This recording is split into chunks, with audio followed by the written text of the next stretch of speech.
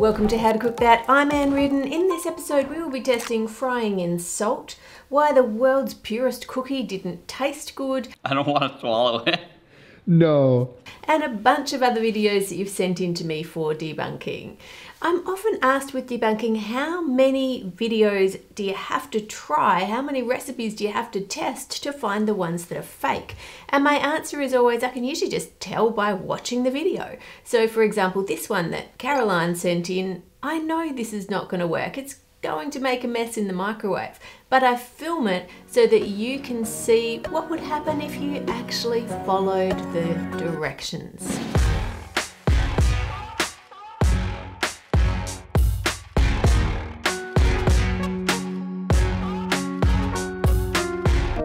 And that's the case for most of the videos I get sent. I can just look at them and know if they'll work or not. But occasionally I get sent some that I've never seen that technique before and I therefore don't know if they'll work or not. And they're the ones we're going to be testing today. Let's start with this one that is using salt to deep fry foods.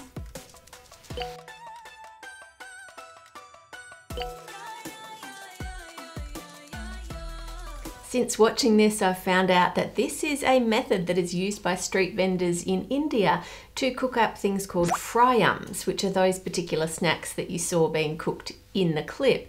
But I can't get those here, so I'm curious as to whether this will work with anything else. I've got my salt in the pan and it's currently around 75 C. It needs to get up to 180 C for frying. Now salt doesn't melt until it gets to 800 C, so we're not going to overheat it or burn it here.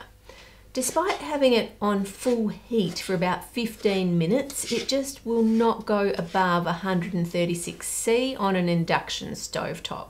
So I'm going to have to move over to a gas stovetop and then pretty quickly we got it up to 180. So let's chuck in some prawn crackers and see what happens. They are hard to get under the salt. Obviously it doesn't just sink like when you throw it into oil. It seems to work best when you scoop salt from the bottom, the stuff on the top is cooling down pretty quickly. Look at that, they are puffing up. It does work. They do seem to burn pretty quickly, so you can't just leave them in there. It needs to be agitated the whole time. Now for a papadum. Well, it definitely does cook it. This is really crispy. Now, if we look closely at a prawn cracker that's been fried in oil, it's really light and airy, and by comparison, the ones that I did in salt, they're not as airy or big. I'm sure the street vendors could do a much better job of frying in salt and getting them to puff up properly than I did, but the other question I have is what do they taste like? Regular prawn cracker is good.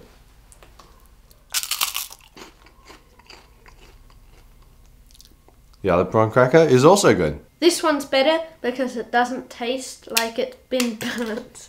I think I prefer this one. Um, this one just tastes a little bit smokier.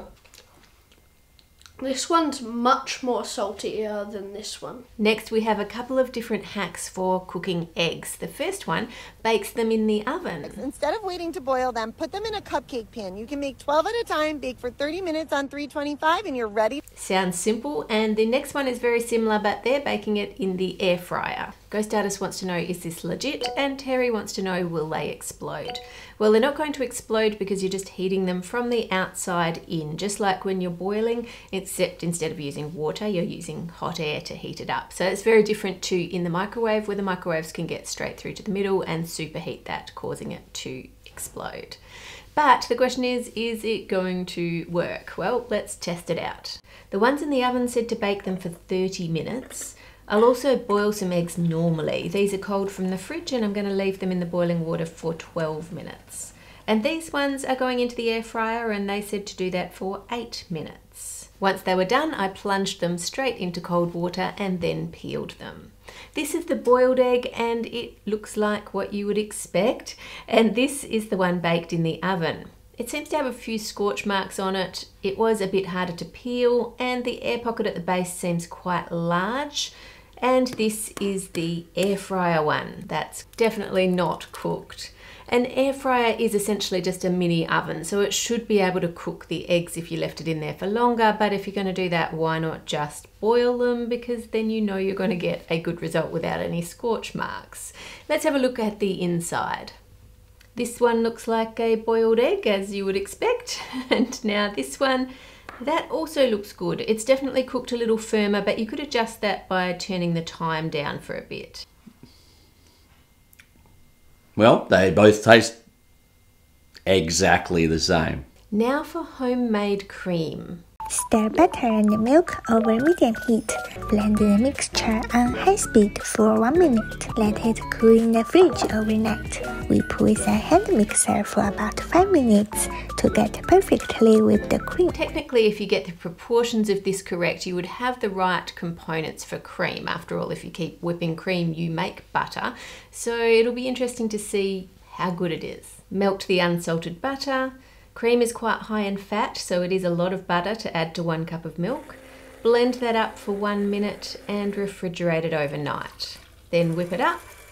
The cost of this works out to about half the price of buying cream and it whips up pretty well. Not quite as stiff as the normal cream though. I'll show you them side by side and the normal cream is a bit paler and quite a bit firmer. It's quite hard to see that on camera.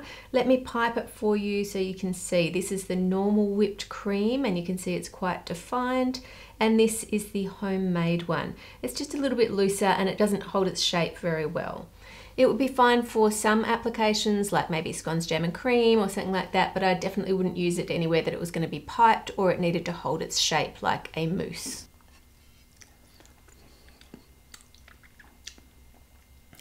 That one tastes like cream, and this one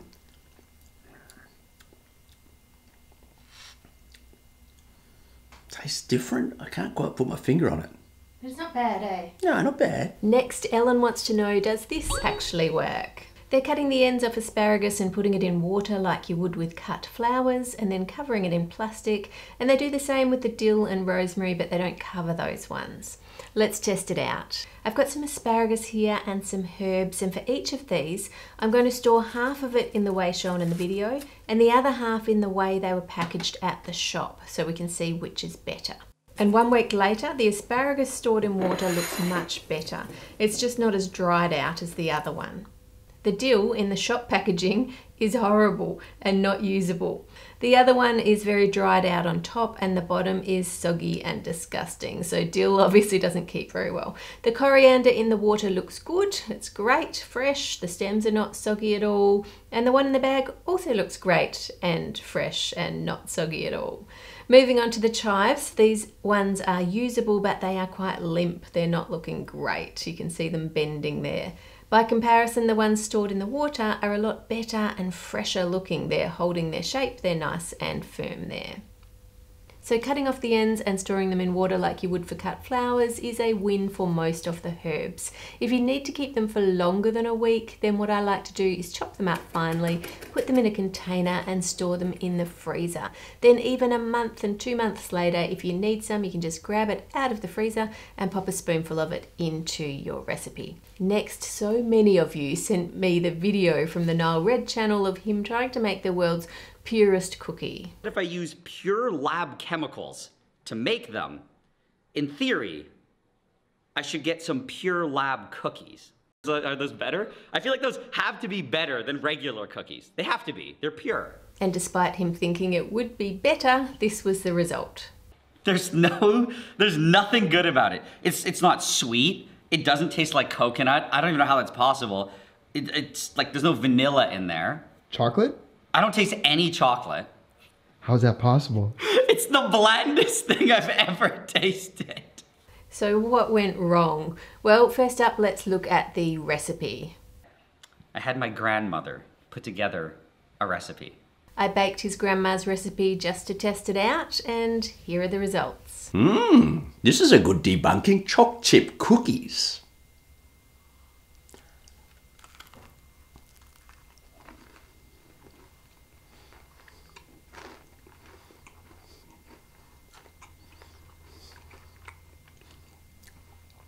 It's all right. It's a bit, a bit oily. It's a bit oily, but it's okay. I don't mind. I'll go again. It tastes like a normal cookie, just maybe a little bit chewier and a little bit sweeter. The recipe is fine, so that's not the problem. So next you'd think about user error or not measuring it properly, but I looked at all of that and it all seems okay. He does melt the fat instead of just mixing it in, but it shouldn't make that much of a difference. It shouldn't kill the cookie and make it inedible. So then the next question, of course, is the ingredients. Most of the ingredients are just normal ingredients purchased at a lab scientific shop instead of just purchased at the store. But there is one difference, and that is with these three ingredients. I've been waiting so long to open these up because it costs a lot of money. These alone were over a thousand each. He's not lying about those prices. This chocolate costs $1,107. Just one. Oh, it's, oh, it's all dark chocolate, I guess. Like all baking dark chocolate. And the egg powder is the same price at just over a $1,000. So you get a bunch of pouches. And the last one, wheat flour. This is the heart and soul of the cookie. That little bottle of flour costs $818.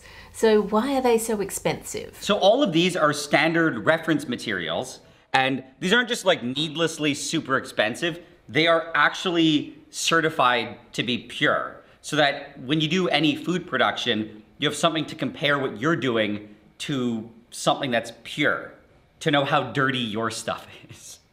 So these have been certified to, I, I guess, have no bacteria, no weird contaminants. They are as pure as you can possibly get these ingredients. Aren't things that are on the shelf already supposed to be like pretty pure? I'm pretty sure that, like average things that you can buy, like chocolate and stuff, they're literally allowed to have like bug parts in them. like and other mm. random junk. Oh man. And this is the major flaw in his quest for the purest cookie.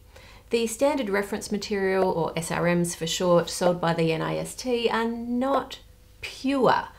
That's not the purpose of them. They're not totally free from dirt. In fact, they sell domestic sludge for $731. They're not free from contamination. They sell urine that has arsenic in it for $1,000 if you'd like some of that. The reason they are so very, very expensive is not because they're pure, it's because they have been tested and retested and tested again so that they can tell you with absolute certainty exactly what amounts of different compounds or elements are in that product. For example, this is the certificate that comes with the powdered egg. It tells you exactly how much is in there. Now, the only reason why you would pay that much money to have something measured so precisely is if you also had a machine that was made to measure those things. And then you can put this sample into your machine, see what results you get, compare the two results, and then you would know if your machine is operating accurately. So it doesn't mean that the materials are pure. It doesn't mean that they are any cleaner than stuff you get at the shops. It doesn't mean that the chocolate doesn't have bug parts in it. If you think about how chocolate is made, it's grown outside, it's fermented outside, it's dried outside. The chances of one of those little cocoa beans not having a bug inside it are very, very slim. And because they then go on to be roasted, it's seen as it's not going to do any harm if it actually had a bug in one of those and it just goes into the chocolate. Sounds gross, I know, but think about the impracticality of cutting open every single one of the cocoa beans that go into making chocolate to check for bugs. You just can't do it. So this chocolate is just as likely to have bugs in it as the chocolate that you buy from the shops. Now, interestingly, the NIST, as well as giving you the breakdown of what's in it, tells you the information as to where it was sourced. So we can see with the egg powder, for example, that this was sourced from a commercial manufacturer of egg powder. All that the NIST did is blend it up, and the reason they blend the big 10 kilo sample that they bought up is to make sure it's homogeneous. It's the same through the whole sample, so that if you get this bit, you're getting the same as the person who got this bit of it, so that they can tell you exactly what's in it and the measurements are correct. So they basically just bought it from a manufacturer, blended it up to make sure it's homogeneous, and put it into little packets. So you've paid a fortune for something that you could have just bought at the shops because without using those measurements for standardizing equipment, it really was just a waste of money. If we look at the chocolate, interestingly enough, it is 100% cocoa bean chocolate. So, normal dark chocolate that you'd buy at the store, even the really dark stuff, is 80% cocoa beans, 20% sugar. This is 100% cocoa beans, 0% added sugar. And that tastes, well,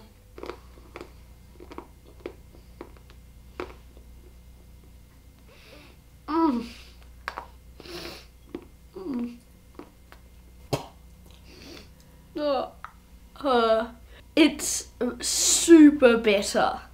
So that would explain why the cookie didn't taste very sweet or chocolatey.